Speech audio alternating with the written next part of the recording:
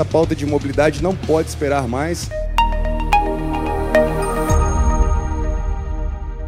Hoje nós temos aqui um importante projeto de lei 444 que traz a questão da implantação das faixas exclusivas e preferenciais de ônibus nos corredores arteriais da nossa cidade.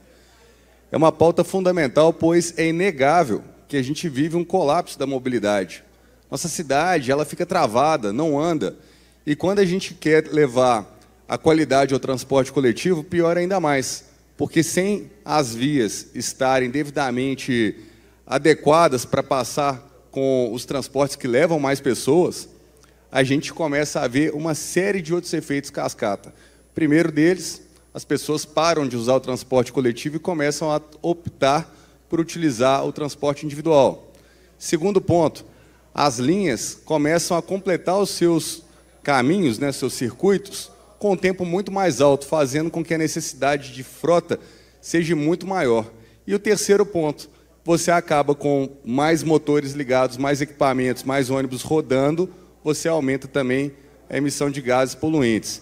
Então, esse projeto é um projeto fundamental para criar esse direcionamento na cidade, para que a gente realmente, se vamos priorizar o transporte público, ele seja feito de forma efetiva.